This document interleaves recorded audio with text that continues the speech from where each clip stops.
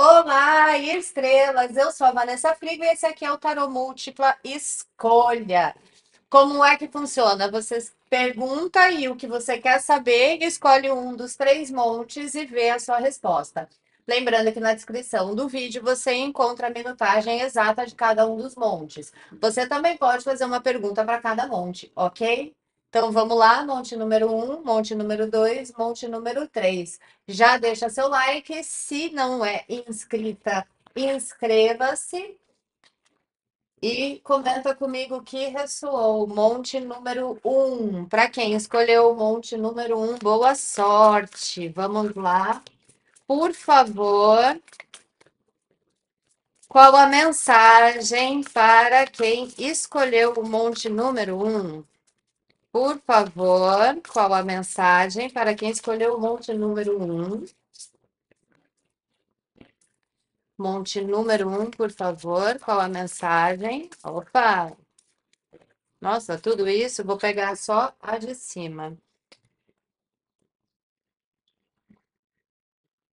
Essa carta, ela tá pedindo que você tente parar de controlar aquilo que você não consegue. Ela fala daqueles momentos em que a gente tenta controlar o inevitável, que a gente precisa estar com tudo é, sob controle, quando a gente quer a vida de um jeito e aí a gente acaba se prendendo, a gente tenta afastando situações da nossa vida porque a gente está tentando manter o certo, o, confortável, aquilo que já é conhecido.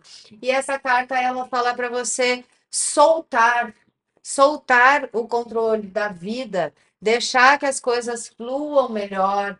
Se isso aqui está relacionado a um relacionamento, por exemplo, talvez você esteja querendo é, colocar os carros na frente, na frente dos bois. Se isso aqui é sobre um relacionamento que você está começando, então o conselho é deixa que a coisa flua melhor, não, sim, não, não tente controlar, não tente acelerar. Se você está vivendo uma relação, talvez será que você não está muito controladora, não está tentando se manter segura, prendendo a outra pessoa. Se isso é profissional, Será que você não está é, ficando muito é, naquilo que é certo, seguro, sem arriscar, sem tentar o novo, com medo de errar e perder? É, é aquele momento em que o conselho é que você confie mais, que você solte mais, que você não tente controlar tudo. Ok? Vou pegar aqui o tarô para a gente dar uma clareada, mas essa é uma tiragem rápida. Lembrando que segundas, quartas e sextas sai o tarô mensal para todos os signos. Ok? E vem novidades aí.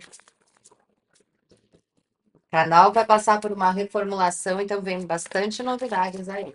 Por favor, para complementar, concluir, para quem escolheu o monte número um, que mais, por favor, para quem escolheu o monte número um? Para complementar, concluir, o que está vindo aqui? Por favor, vamos lá. Opa. Vamos ver. A abundância é uma carta que fala sobre emoção, sobre deixar as, as emoções fluírem, é aqueles momentos da nossa vida em que as coisas estão dando certo.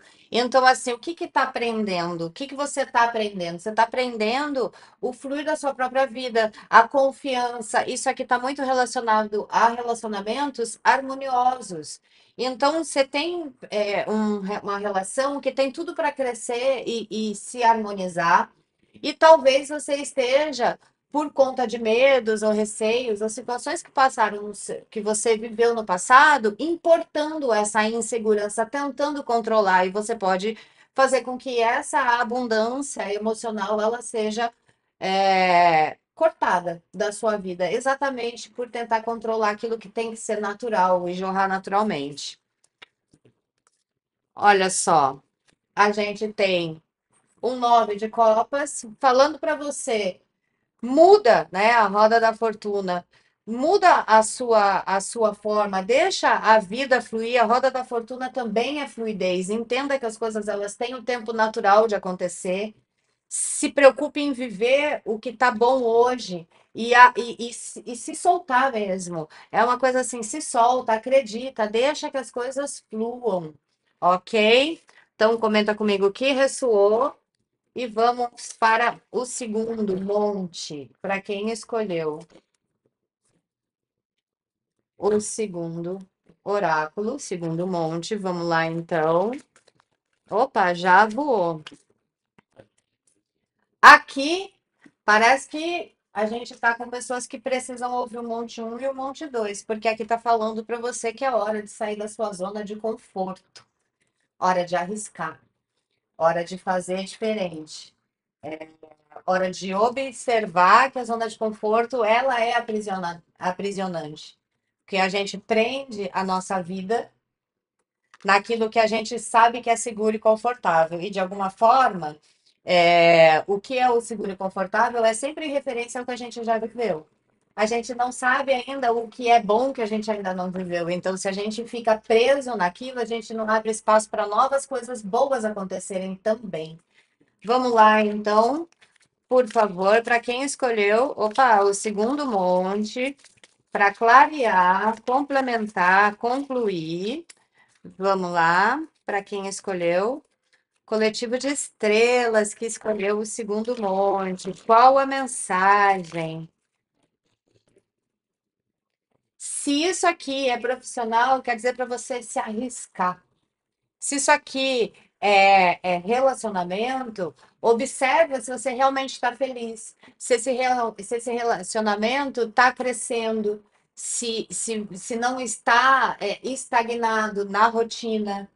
se não é hora de mexer nessa rotina, sair daquele conforto, se arriscar, é, experimentar coisas novas, viver novas situações, resgatar situações, ok? Por favor, para complementar, para concluir. Para... Opa! Mas estamos voando um monte de carta aqui. Nós temos uma rainha de copas, seis de espadas, cinco de Discos. Bom, se isso aqui é relacionamento, o que está me mostrando aqui é que você está percebendo que esse relacionamento já não é mais o que era. Ele já, de alguma forma, ele foi se apagando, né? Então é um relacionamento confortável, mas não é um relacionamento que é satisfatório, que é amoroso, que está crescendo. Isso também pode ser aqueles relacionamentos, aqueles ficantes ad eternos, que a gente fica perdendo tempo na vida, ficando, que não rola. Por quê? Porque a rainha de copas ela está precisando se amar de verdade, ser amada de verdade e conseguir amar de verdade. Ela quer sair dessa zona de conforto. Aqui a gente tem um seis de espadas. O seis de espadas é uma carta de adeus. E o cinco de discos é o medo de ficar só. Então, o que está me mostrando aqui é assim, para o medo de ficar só, sua zona de conforto. Bom, pelo não tá essas maravilhas, mas eu não tô sozinha.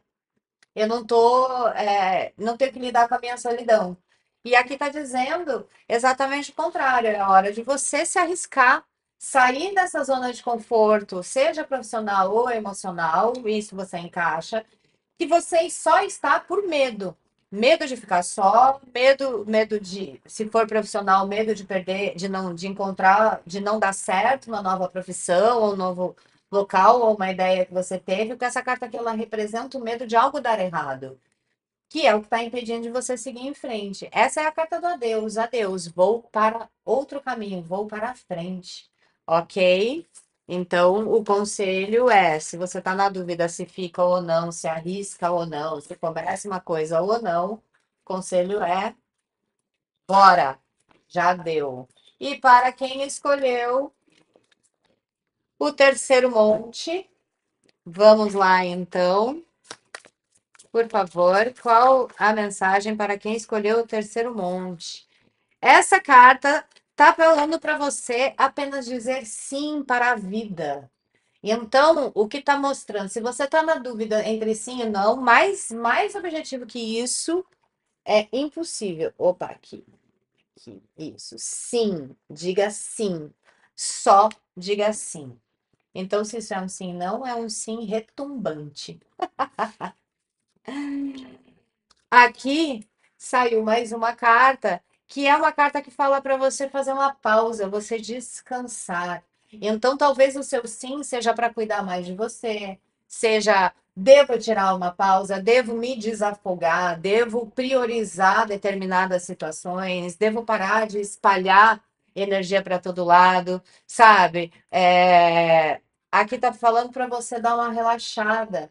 Porque a- o trabalho ele acontece a vida toda. A, a, a vi- as coisas, a, a vida não para se você relaxa, se você descansa. E tenha fé, porque aqui está dizendo, diga apenas sim. Então, situações que possam aparecer para você, é para dizer sim. Se você está na dúvida se aceita, se conhece, se, se muda de trabalho, se arrisca começar uma, uma nova profissão, é, tudo aqui é para você dizer sim para a sua vida. Deixa eu dar uma olhada aqui para complementar, concluir. Para quem escolheu o oráculo número 3. Vamos lá, por favor. Para complementar, concluir o coletivo de estrelas que escolheram o oráculo número 3. Aqui. 10 de moedas, a carta da casa. Aqui está trazendo uma. Essa carta, ela fala de sucesso na terceira dimensão. O que é sucesso na terceira dimensão? É sucesso profissional, é discos, é dinheiro, é também é, a família, tá? Então, assim, dizer sim, de repente, para alguém que você está conhecendo, que pode vir a construir uma família com você é, é dizer sim e priorizar a sua vida, começar outras coisas, se desafogar. Essa carta, ela traz é, também dinheiro inesperado chegando, tá? É, mas ela é uma, é uma, é uma carta de realização, então assim, é de conquistas. Ah, será que é o melhor momento para eu dar entrada na compra do meu imóvel? Sim. Será que é o melhor momento para eu investir é, numa ideia que eu tenho, que vai me tomar um tempo, é, mas é o melhor momento? Sim. Essa pausa serve para você dar uma clareada, olhar a sua vida e falar: meu, aonde é que eu tenho que jogar minha energia agora? Eu vou parar, vou respirar e parar de soltar energia para todo lado. Vou concentrar naquilo que eu quero conquistar. Porque aqui é uma carta de conquistas ok? Então, comenta comigo que ressoou, deixa seu like. Te convido a se inscrever se ainda não for inscrita. Esses vídeos de múltipla escolha, rapidinho, se vocês curtirem, comenta aqui, compartilha, porque todo mundo pode usar esse vídeo. E eu vou voltar a fazer, faço mais. Aí eu marco um dia com vocês que a gente bota uma vez por semana esses. Segundas, quartas e sextas saem normalmente os tarôs para os signos e é uma tiragem mensal, então é uma tiragem mais longa, mais detalhada, ok? E vem novidade aí, então se inscrevam. Um beijo e muita luz.